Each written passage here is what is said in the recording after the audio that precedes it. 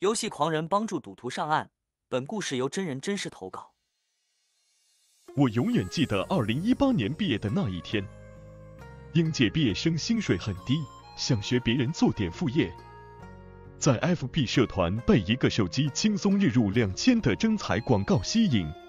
可惜天上没有白吃的午餐，这一切都是赌博网站的圈套。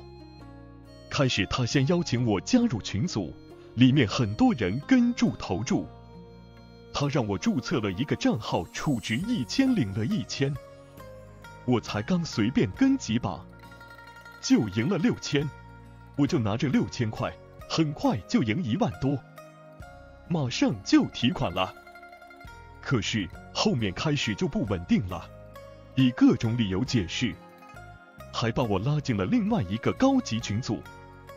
看住里面人轻松赚几万、几百万，我心动了。开始果然赢了几万，因为一开始他们就教我了，我背投，如果六次连错，本金就没了。然后几万越大越大，玩了大概三个月，中间有输有赢，但最后还是输了，而且是完全输光。开始跟朋友借钱。借完了，当时大概输了八万左右。到朋友催账的时候，没办法，只好找家人借钱解决。期间还是会偷偷出来赌，最后输死心了。脚踏实地工作了一年多，终于把欠的钱都还完，也逐渐有了一些存款，生活似乎变好了。但就在隔年的世界杯。我看到同事下注赢了很多，朋友起闹，我又开始心痒痒，跟之前一样，几百几千开始被投，玩到最后连三公，百家乐都玩。年底还直接碰到疫情，我生病了，当时就在家休息，在家没事，可想而知。对，赌徒很怕无聊，我承认。我戒了一段时间的防线彻底松了。输输赢赢，三天三夜，中间休息了几个小时。最可怕的是，三天我抽了一条半的香烟。这次更夸张了，到了无可救药的地步。由于之前跟朋友借过钱，朋友开始不信任我，只好跟家人说疫情需要生活费，最后十赌十输，连吃饭都还要去超商找大爷的朋友帮忙。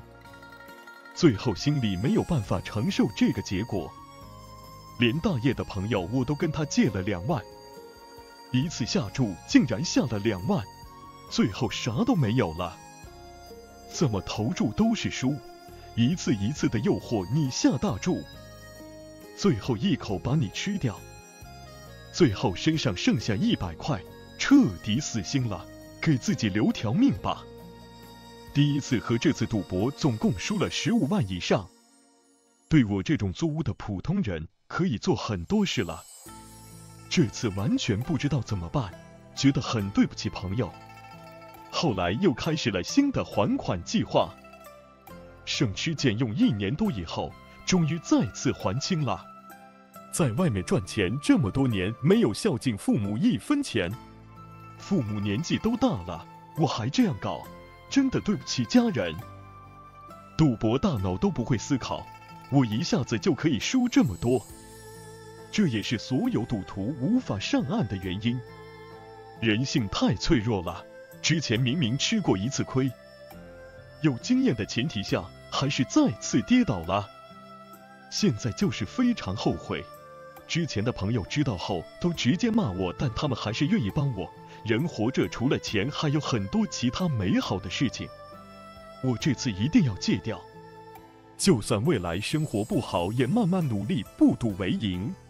钱就是为了让人生活的更好、更方便的工具。不要遇到挫折就倒下，活着就有希望。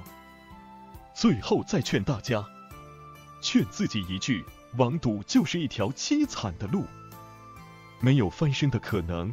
透过现实生活的努力，人生才过得更好。大家一起加油！